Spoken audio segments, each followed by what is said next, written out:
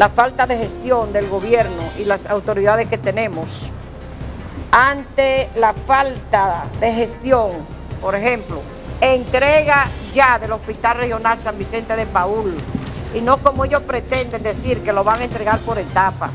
La falta de insumos, la falta de laboratorio que hace posible que a la gente se le atienda debidamente y que no que la gente muera, que padezca ante la negatividad de este gobierno, de esta autoridad de equiparlo debidamente. La falta de asentamiento agrario campesino a los hombres y mujeres que luchan en el campo por un predio de tierra para poder sembrar nuestros alimentos.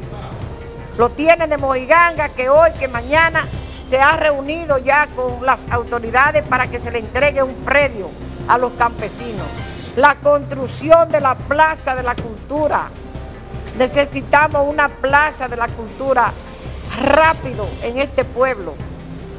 Que, la, eh, que se eh, trabaje con los estudiantes, por ejemplo, la entrega de laboratorio, de biblioteca, en el CURNE que se ha prometido el trabajo de un edificio que cubra todas estas necesidades para los estudiantes. Eh, y nada, no es posible. Sabiendo nosotros que el gobierno ahora para campaña sí viene a prometer, sí quieren hacer y no hacen. Así que nosotros, ante esta situación, nos estamos viendo la necesidad de llamar al pueblo de San Francisco de Macorís a una lucha permanente. Vamos a realizar varias actividades aquí en San Francisco de Macorís porque tenemos que activar la lucha. Decirle a este gobierno que ya San Francisco de Macorís está cansado y la lucha van a continuar, van a seguir. Mira, por ejemplo, el día 2 tenemos una gran actividad eh, frente a la oficina de Edenorte. Ahí tendremos un encendido de vela en la calle Castillo con Nino Ricé a las 7.30 de la noche.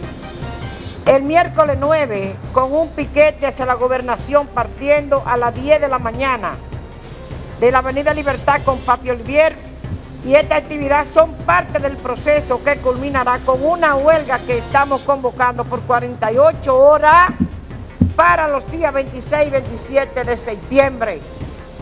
También queremos invitar a todo eh, el movimiento popular, a todas las grandes organizaciones, a toda la parte de sociedad civil, izquierda y todo, lo que sientan, lo que recuerden a ese gran líder caído un primero de agosto.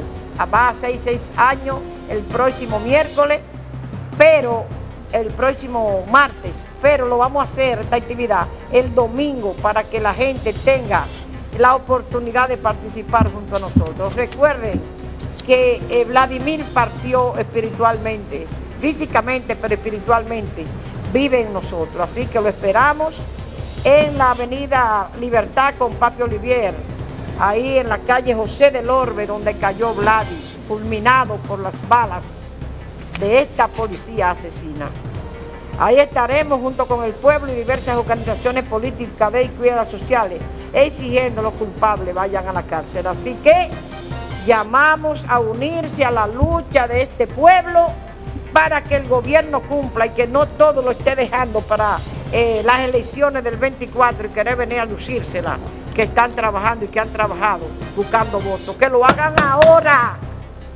Es cuando debe trabajarse en un pueblo donde no hay acera, no hay contenes, falta de asfalto, terminación de la cañada grande y no por parte como, igual, como quieren con el hospital.